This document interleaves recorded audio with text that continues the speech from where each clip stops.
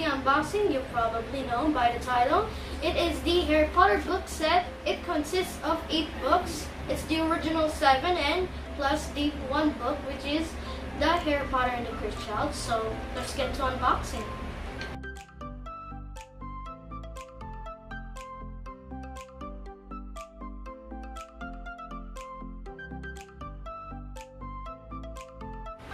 Okay guys, let's open it. This is the moment of truth.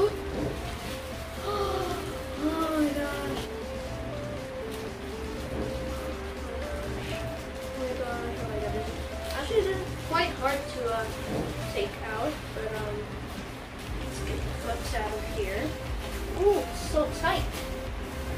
Good thing it was not taped to the, uh, the wrapping. Wow. Here. Right. Oh. Wow. Wow. Okay, you can see the books. Wow, here it is, guys. So, it is not actually in order, so I'm just going to do this from top to bottom. So, first off, we have Harry Potter and the Order of the Phoenix. Here it is. It has the Phoenix, or I think there's a Phoenix. But uh, here's the side, here's the spine, and here is the back. So this is, a, this is one of my favorite covers, probably number two. Anyways, moving on to the next one. Here is Harry Potter and the Half-Blood Prince. This is the front cover. It shows Harry and Dumbledore, which is one of my favorite characters. And here's the spine, and here is the back. It's just like a goblet and green stuff. But um, this is my favorite cover because the the artwork for Harry's um, face is so dramatic. So it's like so cool. Anyways, let's go to the um, next book. And this is the last and final book. This is the Harry Potter and the Deathly Hallows. Here's the spine. Here's the back. And here is the front again. So this is one of the darkest books actually, if not the darkest book in the series. And it shows uh, Ron and Hermione in the front getting into Bellatrix's Lestrange's bolt in Gringotts. So, and this is the Harry Potter and the Cursed Child. This is the spine, and this is the back. So, this is the um, featuring uh, Harry Potter's son. I think it was Albus Potter, if I'm correct. But anyways, let's go to the uh, other books that we left out because they're all wrapped. Okay, this is the first ever book, which is the shortest book I think in the series. Yeah, it's only 224 pages. I think. This is the Harry Potter and the Philosopher's Stone. In the cover, you can see the uh, King's Cross train to Hogwarts, and this is Station 9 and 3 quarters.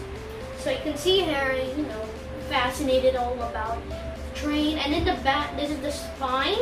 And in the back, we see Dumbledore and uh, just uh, summarizing of the book. And here is Harry Potter and the Chamber of Secrets. So this is a very, very cool book because we learn about Tom Riddle in it. And Tom Riddle is one of my favorite characters too. And the actor who played it in the movie is so good. Anyways, here's the cover. You can see Ron and Harry and Hedwig on the uh, flying blue car by Mr. Weasley, which he enchanted so he can go invisible and can fly.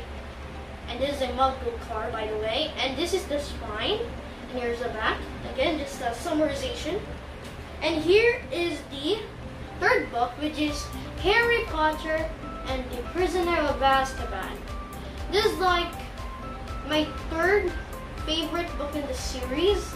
And here's the cover. You can see Ron and her, I mean Harry and Hermione on Buckbeak.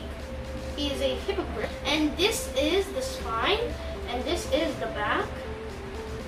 Anyways, let's go to the uh, final book we're about to tell you.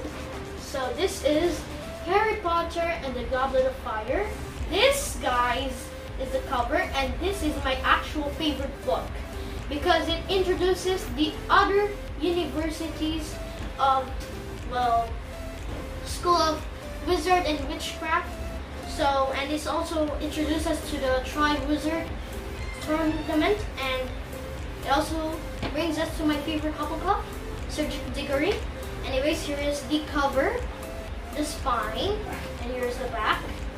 And so, uh, yeah, that is